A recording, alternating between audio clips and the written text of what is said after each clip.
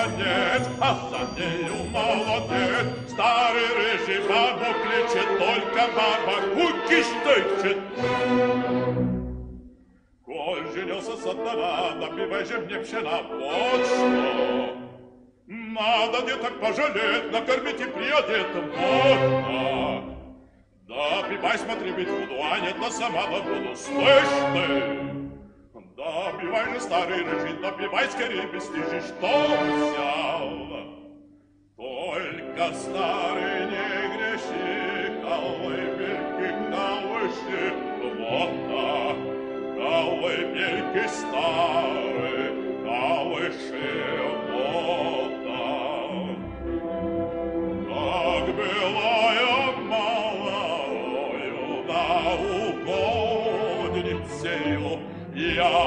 весело передник на оконницею. И покушать, как киваю, Ярца шелком вышиваю. Ой, Семен!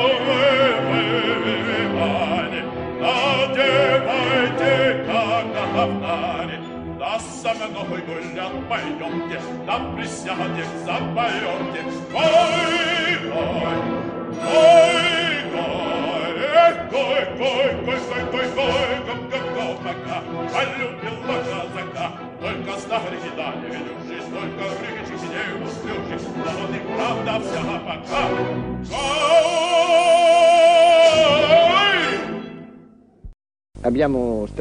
Наш гост тази вечер е Борис Христов, един от най-големите певци и актьори през последните 30 години. Един от тези, които по-моему характеризират цяла епоха, тази в която творят. Но в крайна сметка влияят и върху следващите. По същество се превръщат в крайъгълни камъни в историята на вокалното изкуство и в историята на оперния театър. Борис Христов е един от тях. Певец-актьор с изключително индивидуалност. Плод, по-моему, на някои характерни черти, които бих искал сега накратко да изтъкна. Ярка вокална индивидуалност, изключително силна изпълнителска дърва и нещо изваредно важно. Пример за всички певци, а и не само певци. Най-висок професионализъм, постоянство и работоспособност, което обяснява защо след една 30 годишна кариера маестро Христов е все още на огневата линия, както се казва.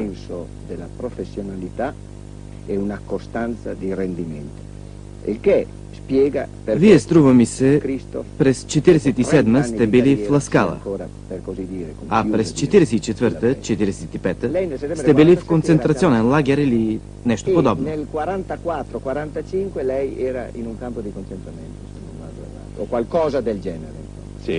Да, но не може да се нарече концентрационен лагер. Трудов лагер тук много наблизо. Точно така. Добре ще е сега да обясните как сте стигнали от 42 година на откриването ви, така да се каже, на откриването на певческата ви дарба, до 47-ма, когато дебютирате в Ласкала в аван спектакъл, както си изразихте шеговито в предварителния ни разговор. Аван спектакъл в кариерата ми. Какво се е случило в тези пет години? Questi cinque anni è successo che io sono arrivato 42. В тези пет години се случи това, че по средата на 42-а аз пристигнах в Италия, за да уча пеене. Преди това никога не съм учил пеене. Пял съм с удоволствие, но винаги като аматьор. Quindi con questa occasione che mi si presentò Така че представи ми се възможността да изостава кариерата си на юрист и да започна кариерата, не може даже да се каже кариера, и да започна да уча, да се подготвям за артистичната, оперната кариера.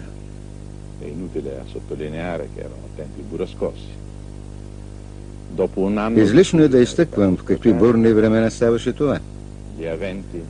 След една година учение с Рикардо Страчари, събитията вече подсказваха края на войната.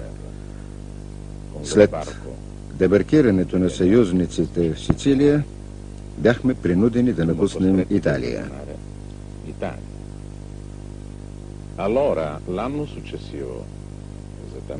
През следващата година, спомням си много добре, заминаването ми от София за Залцбург, където отидох да уча, защото там имаше един италянец, който даваше уроци в Моцартеума.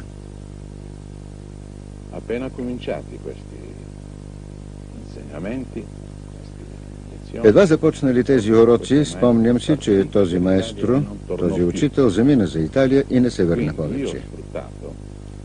periodo di circa un anno Все пак аз използвах този период от около една година в Залцбург, за да изуча немския репертуар, т.е. Моцарт и Вагнер.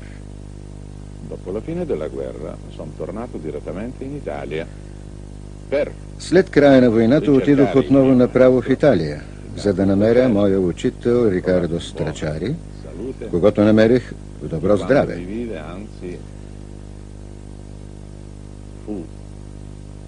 Когато ме видя, той остана приятно изненадан и когато му казах, Маестро, дойдох при вас, но знайте, че сега съм по-зле от преди. Нямам почти никакви средства. Подпомагам се само с гласа си за щастие. Preoccupare, tu А той ми отговори, не се грижи. Ти сега ще получиш с мен, а после ще дойде моментът, когато ще ми се отблагодариш за всичко. И di така започнах отново учението си при маестро Страчари. В края на 45-та аз изнесох концерт.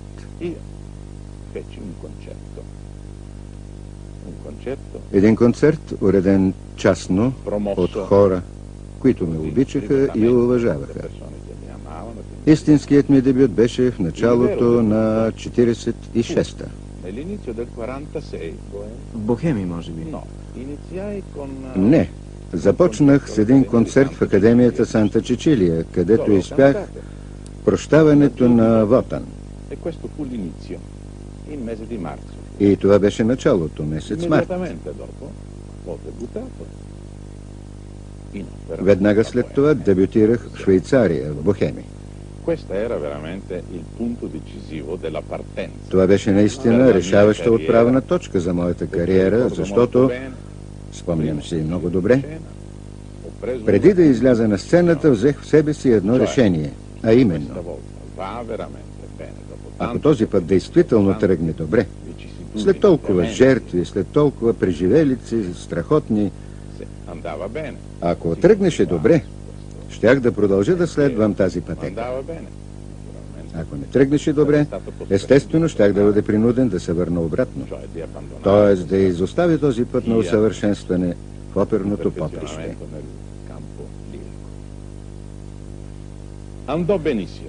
Тръгна не добре, тръгна много добре. Il successo della vecchia Zimarra fu travolgente.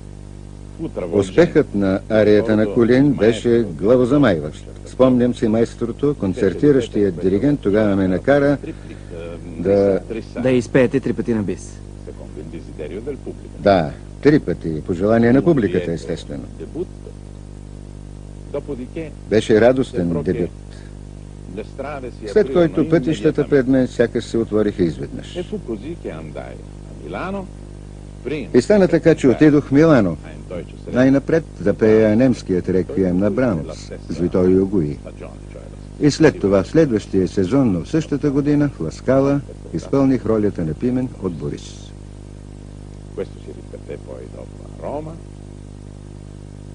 Това се повтори после в Рим и кариерата ми тръгна напред. l'anno 949 Докато дойде 49-та, когато през месец декември Трябваше да пее в Ковент Гарден в Борис Годунов на руски. 2-3 месеца. След това пях в същата опера в Ласкала, вече като Борис, под диригентството на Исай Добровен. И тази среща с Исай Добровен бе много благотворна за мен.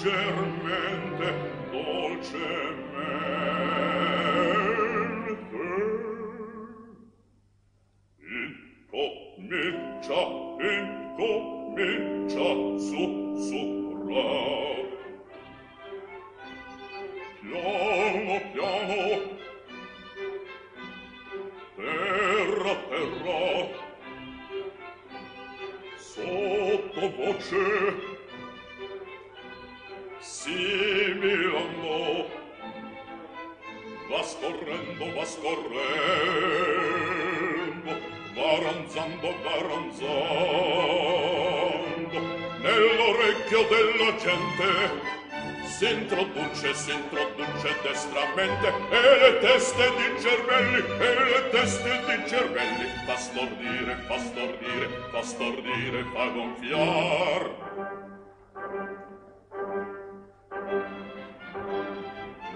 Dalla bocca fuori uscendo lo schiamazzo va crescendo prende forza poco a poco.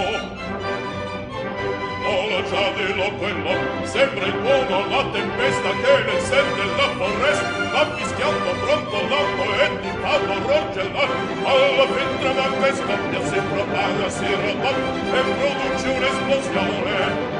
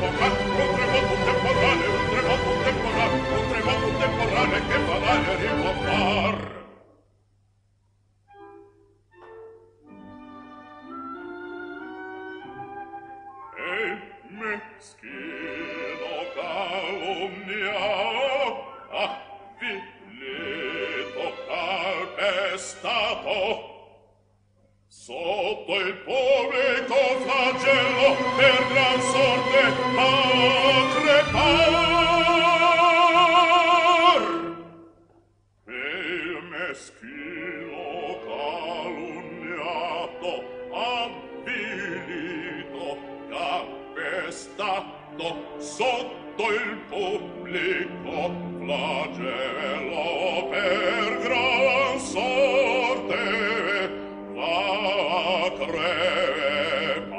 Sotto il pubblico flagello per gran sorte va crepar. Sotto il pubblico flagello per gran sorte va crepar. Se va crepar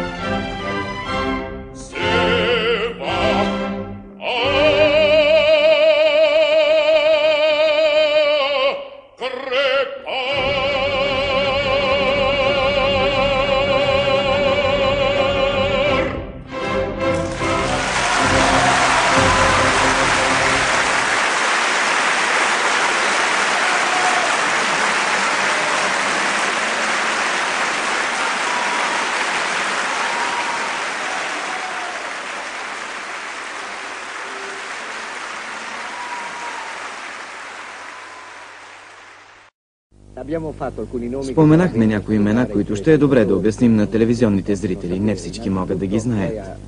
Преди всичко, вие справедливо и настоятелно напомнихте и ви прави голяма чест, че не пропускате случай да го напомните, за вашия голям учител, който беше и много голям певец. Рикардо Страчари който от Болония и беше един от най-големите баритони на века. Един от онези краегълни камъни в историята на оперния театър, за които говорихме в началото. Но вие споменахте и едно друго много важно име. И аз знае, че с него ви свързват тесни творчески контакти. Италианския, великият италиански диригент, починал през 1975 година, Виторио Гуи.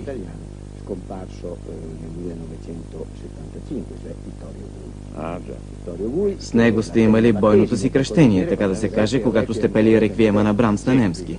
Да. И току-що вие споменахте едно трето име, което е наистина много важно за вас. Някаква спойка е станала между Добровен, руски диригент, ако не се лъжа, Точно така. и вас, чийто корен е славянски. Сега има нещо много важно, което бих искал да кажете на телевизионните зрители. Вие всъщност синтезирате в себе си славянския си происход, славянския корен с италианската школа. Какво може да се каже по този въпрос?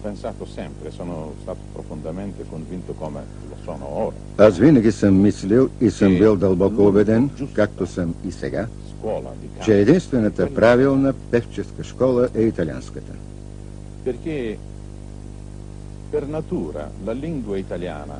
Защото по своето естество италианският език предразполага към пеене. Освен това, Италия е дала в миналото образци на певци, на истински певци, такива, които извисиха името на оперното изкуство до краен предел, в положителен смисъл естествено.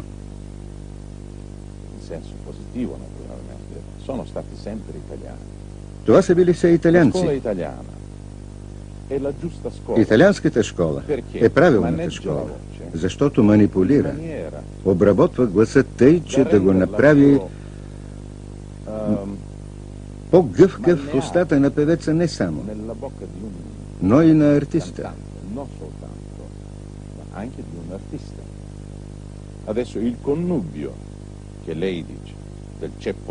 Съчетанието, за което говорите, на славянския корен с италианската школа, аз не съм мислил да го осъществявам.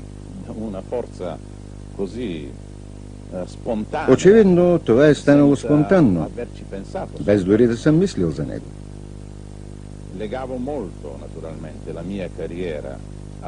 Свързал съм много естествено кариерата си с руската музика.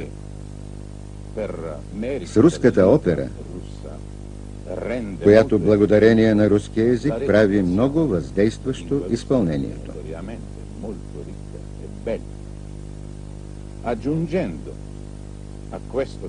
Всеизвестно е, canto че руският език е много богат и красив. Като се прибави към този руски музикален театър италианската школа, позволяваща преди всичко красива фразировка, спонтанни емисии на гласа, всичко това подпомогна моята природа да нагажда едната школа към другата и обратно. l'una verso l'altra e viceversa. Маестро Христо, вие казахте, че България е мина на красиви гласове.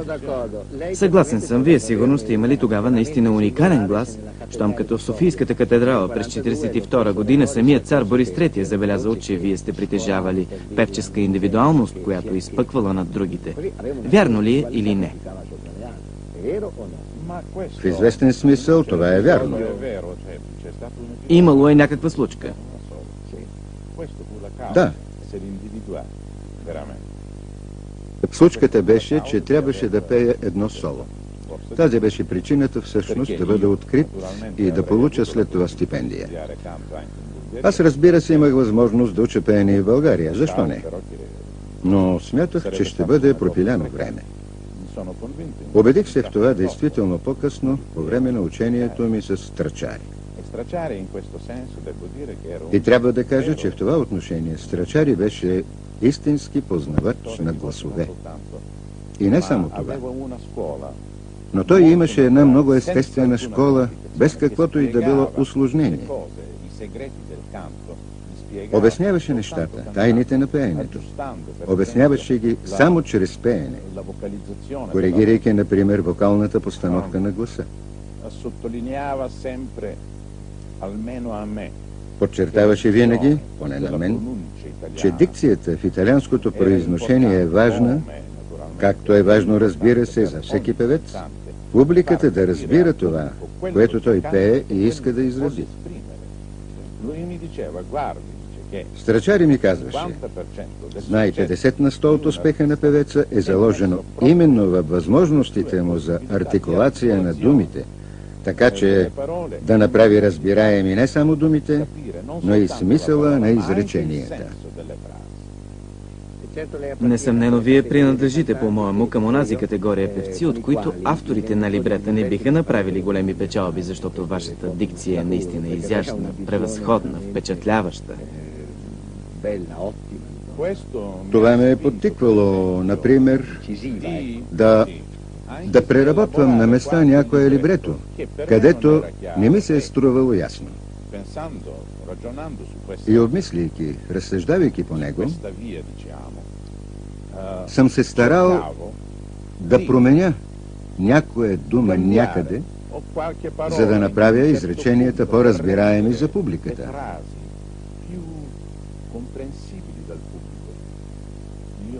Натъкнах се, например, в либретото на Вълшебния стрелец.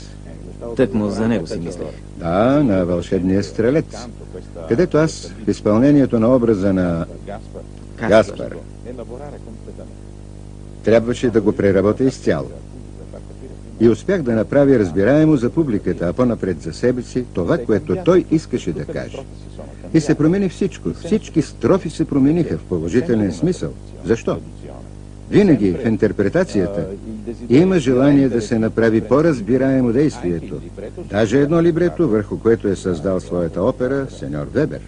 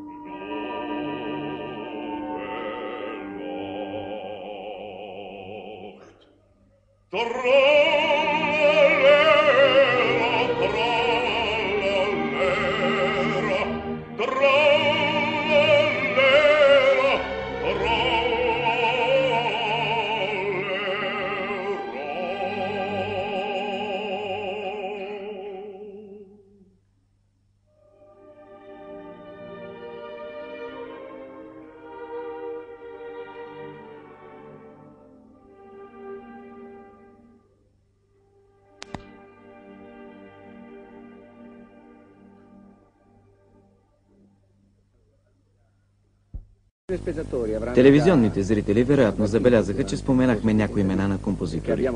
Говори се за славянски опери, говори се за Вевер, аз споменах Вагнер.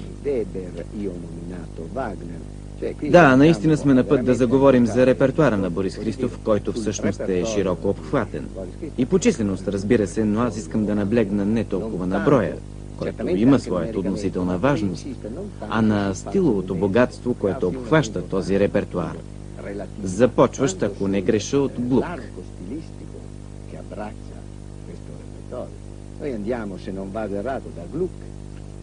Точно така. И се стигне до Мусоргски и още по-нататък до Пучини. Фактически целият 19 век е един отрязък от 18. Тук са Бетовен, Вагнер. Вие сте един от певците, които са изпълнявали Вагнер. На немски ли сте го изпълнявали? Да, и на италиански. И на италиански. Вие сте били, например, един чудесен гурнемант с пласкала. Дали съм бил чудесен, аз не знам. Не, не, не. Пък и гурнемант е образ, който съвпада много с някои ваши личности и характеристики. Да, по-моему, е един прекрасен образ. Но аз знам, че сте особено привързан към образа, който споменахме преди малко. Каспар от вълшебния стрелец, нали? Гаспар от вълшебния стрелец. Привързан съм към този образ по две причини. Това беше първата опера, която съм гледал. София ли? София. И ми направи голямо впечатление. Това беше операта, която подсили любовта ми към оперната музика. По-късно се срещнах с тази опера за пръв път като изпълнител с помощта на маестро Гуи. Изпълнихме за пръв път на италиански. В италиански вариант. Огромно удоволствие ми достави изпълнението на тази опера, на този образ. Фантасмагоричен, загадъчен.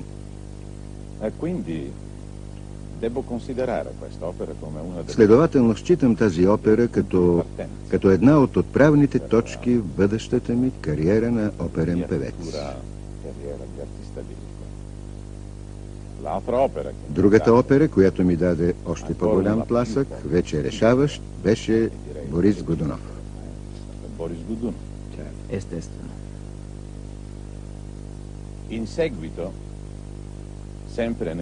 В последствие, все по онова време, в началото на моята кариера, забелязах и един друг голям шедьовър, който за мен е измежду най-доброто, създадено от Верди, а именно Дон Карлос. Филип II. Особено ролята на Филип II.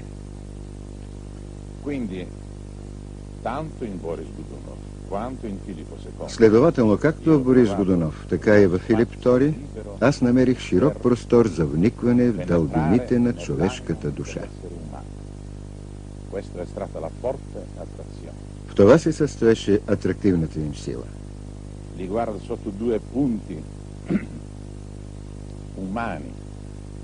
Разглеждам и двата образа от две различни гледни точки, с човешки измерения, различни един от друг, но неизменно помежду им общото бе дълбочината на човешката душа. Впрочем, бих казал, че тази обща характеристика на Борис и на Филип намира обобщение в издадената и посветена на тях грамофонна плоча, озаглавена «Цар и крал». Цар и крал. Бих прибавил и един трети образ, ако позволите, този, който е зад гърба ни, Атила. Атила. Чиято роля изпълнихте във Флоренция. Друга голяма опера на Верди. В която главният персонаж изпълнява всъщност една от най-величавите страници на ранния Верди. Това е прочутия сън на Атила. Да, и не само сънят на Атила. Естествено, но и цялата картина, целият този ансамбъл на оркестър, хори, солисти, в който се откорява солото на баса, на Атила, което е едно от най-обаятелните неща на Верди. И макар, че операта е създадена в ранния му период, тя остава безсмъртна. Несъмнено. И още едно направление, разкрито от вас у Каспар от Вълшебния стрелец. Демоничното е една от характеристиките на ранния 19 век. Демоничното направление, естествено, което се развива в сферата на фантазията. Намират се несъмнено и нюанси на човечност, обаче от този абстрактен образ на злото. Точно така. А оттам започва развитието му. Маестро Христов, искам да ви попитам следното. Ние се спряхме върху стиловото богатство във вашия репертуар. Споменахме мусорски, споменахме почини. Сега ви питам, не са ли не са ли искали от вас да изпълнявате някаква съвременна роля? Изпълнявал съм много. А именно? Изпълнявал съм кардилак. Къде по-точно? В Венеция на един фестивал някъде около 53-54. В ролята на, на главния герой, нали? Не, партията на главния герой е Баритонова. Аз имах да изпълнявам две роли в тази опера. Вече не си спомням добре. Едната беше на...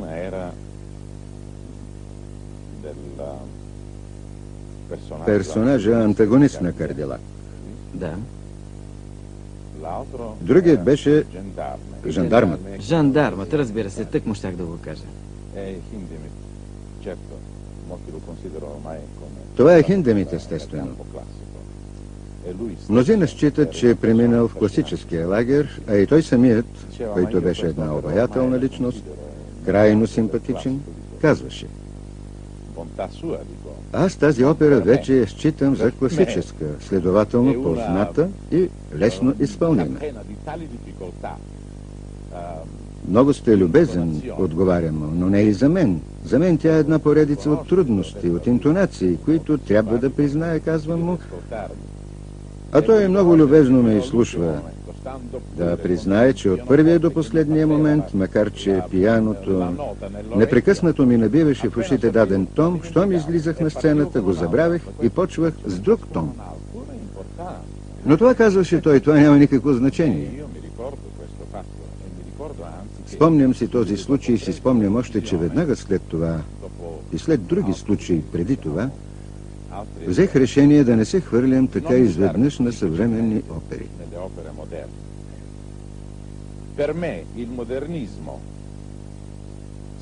За мен модернизмът не спира до Мусорски. Не трябва никога да казваме, че Мусорски принадлежи към класическата група. Не, Мусорски принадлежи на модернистичната група, към групата на композиторите-новатори, откриватели на нови хоризонти, на нови изразни средства за разбиране на човешкото същество. Човешката душевност, възможностите му на изказ, основаващи се винаги върху музиката.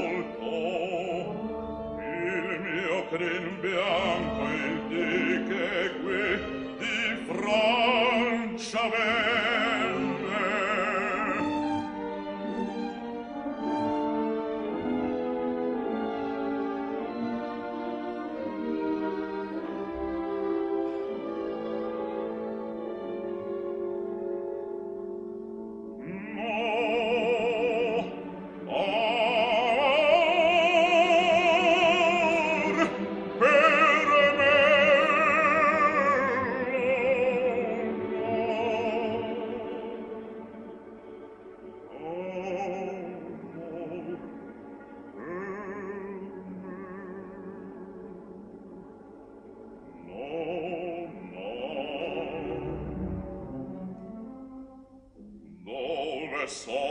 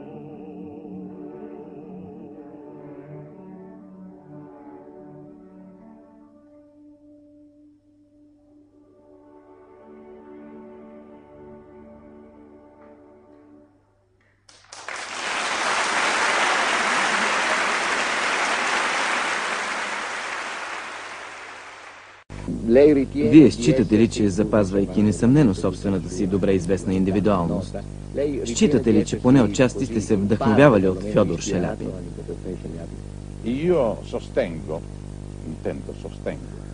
Аз твърдя, подчертавам, твърдя, че това е неизбежно. Не само в музикалното, но даже и в научното поприще, човек започва да се учи не като се рови да открие наченките и после да ги проследява излишно през всички епохи.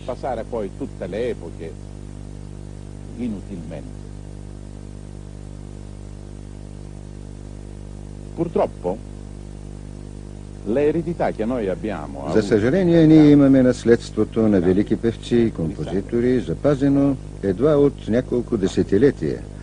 Откакто се появи на бял свет тази дяволия на, на звукозаписването.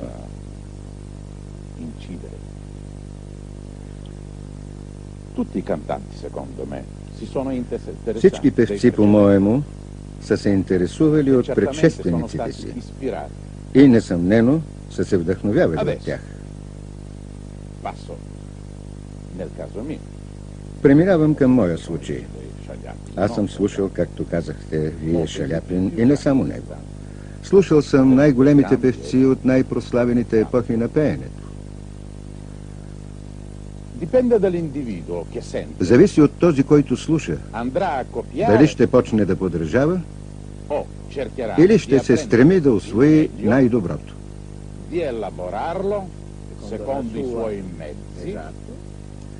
Да се стреми дори да постигне нещо още по-добро. Аз считам нашите предци, нашите предшественици, по-точно казано, считам ги в тази насока като наши учители, като наши преподаватели. И в този смисъл трябва винаги да сме им благодарни. Questi. Трябва да говорим за тях с известна признателност. Io, nel mio modesto, Аз скромно казано, собственото си развитие, развитието на този процес на усъвършенстване, съм се старал, както казах преди малко, да търся отправни точки, които са много важни. И съм ги намирал в диапазон от различни по тип гласове. Баси, баритони и даже тенори. И един от тях, дължа веднага да кажа, е сеньор Тито Скипа. Несъмнено. Който беше превъзходен майстор на белкантото, не само, но и като актьор. Secondo me, imitare è una personale offesa. По-моему, подражанието е лична обида, която един певец сам си нанася. Imparare,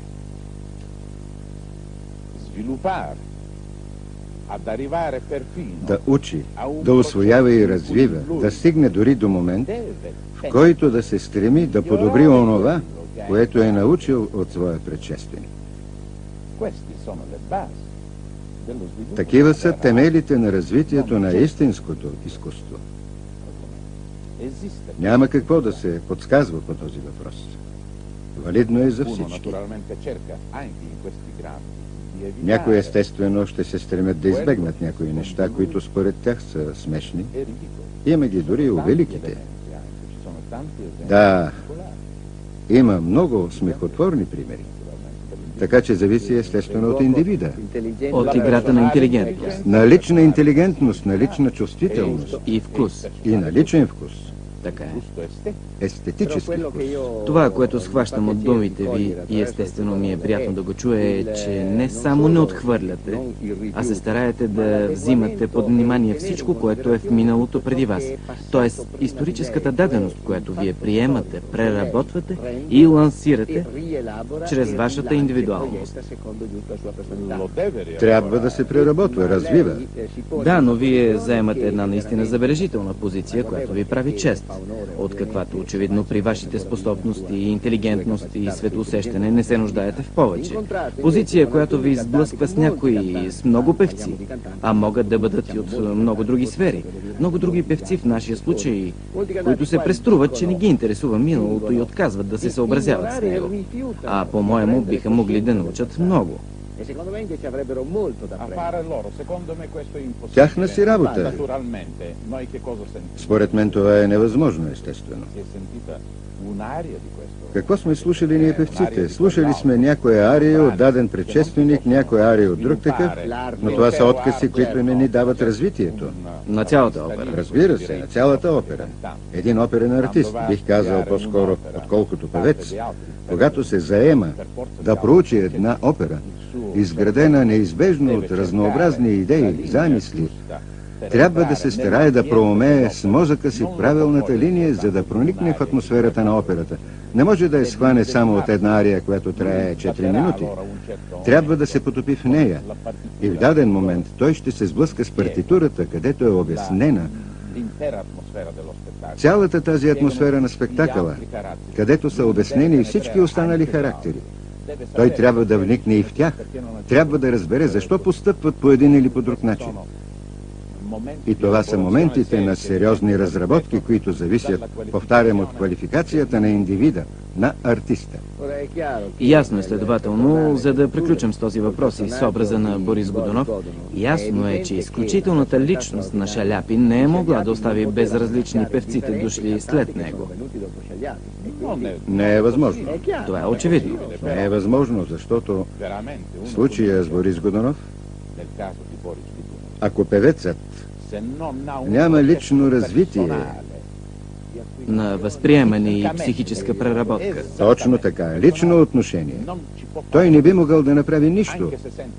А макар и да чуе сто шаляпиновци или да чуе, знам ли, сто изпълнения на Исай Добровен, на Тусканини и така нататък. Тук се намесва индивидът и нещата се свеждат до следното. Ще бъде ли този индивид артист способен и без помощта на големите певци от миналото да изпълни една опера като Борис Годунов? Това вече е друг разговор.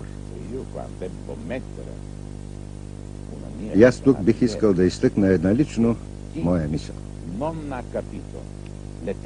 Това няма да е по силите на певец, който при разработката си не е сванал стремленията на Мусорски в изграждането на този изключително сложен образ, който иска да срещне смъртта, но не чрез самоубийство. Този индивид, Борис Годунов, притежава изключителна човешка чувствителност. Толкова е развит в дълбините на човешките си чувства, че в края на краищата умира единствено поради угризение на съвестта. Тук в последна сметка се крие силата на артиста, който трябва да направи тъй, че публиката да го види, да го почувства.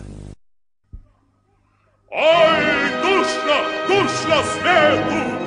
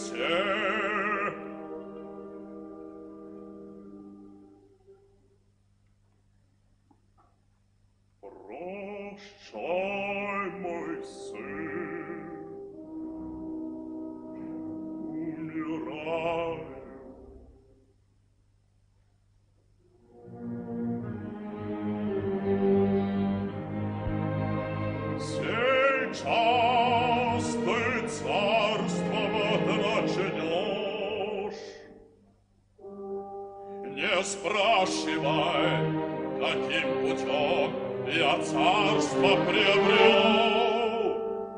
Тебе не нужно знать, ты царствовать по праву будешь.